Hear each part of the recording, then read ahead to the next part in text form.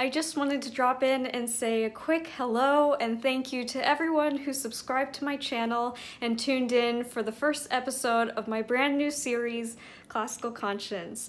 I am so appreciative of all of your encouragement and support, and your enthusiasm just makes sharing music with you so special and enjoyable. While I work on getting episode 2 out for next week, I wanted to share a little sneak preview of my conversation with Danny Elfman. Check it out.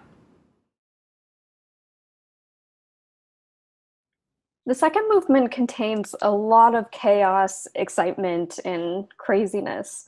What was it like for you writing that? The whole thing about the second movement was how monstrously difficult the uh, cadenza is.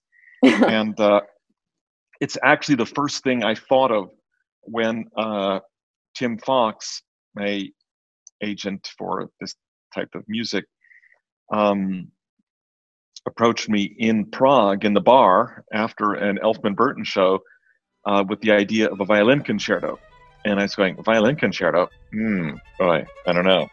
And I started thinking, violin and percussion cadenza. That was just like the first thing that popped into my head. So it's just funny that um, be, way before anything else existed was the thought going into it that somewhere there's going to be a percussion and violin cadenza because it's something I just never heard before and I, I really wanted to.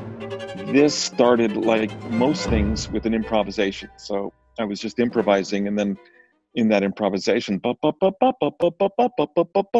And um, I started coming up with variations on this kind of frenetic uh, rhythm around that melody, and I started getting really uh, intrigued by it. So, in the out of the improvisation came uh, a couple of minutes of harmonically some of the things I wanted to do with it. And once I had that, I knew that okay, I, I've got the foundation or the launching of my second movement with this. One of my favorite spots in the second movement cadenza is a place where I remember back in the studio, you asked me to improvise some stuff, and you said you wanted this section to be wild and crazy and very ringing. So I thought, okay, what can we do to accomplish that? So I said, okay, let's add some harmonics and maybe some open strings. But what I never imagined in that moment was what you ended up creating. You added some toms, and they go back and forth with me in matching these pitches.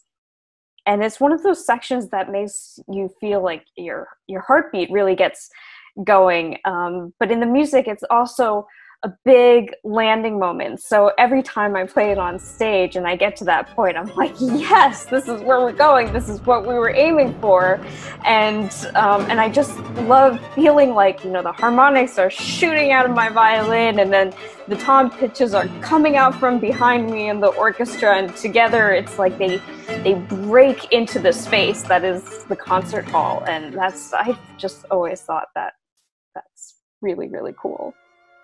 And there's one other spot in the second movement that I would like to talk about because I think it's so special, um, mainly because of its difference from the rest of the movement.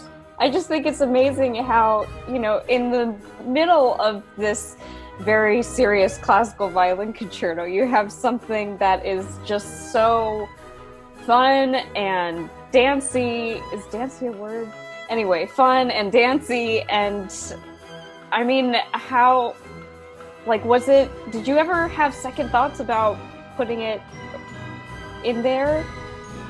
Yeah, I mean, because I thought I was writing in the second movement something more modern, and suddenly I fell into this kind of dancey, uh, Piazzolla inspired thing, and I was going, what is this doing here? This doesn't fit in this uh, movement. But in the end, um, I think it was you and John Mauceri kind of talked me into keeping it in. Well, I I appreciate that you you not only came up with it but um, decided to keep it in there even though under pressure from me and Maestro Mauceri.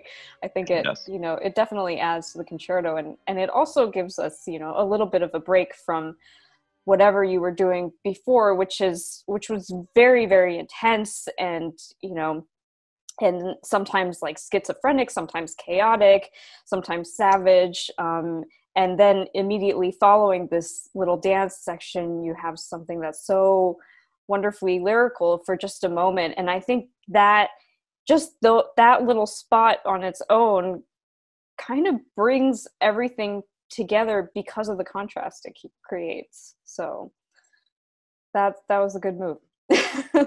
cool. If you want to see more of Danny, come back on July 22nd for episode 2 of Classical Conscience. In the meantime, if you would like to see part of a live performance of Danny's Violin Concerto 1111, click on the link in the description below. Can't wait to see you again soon!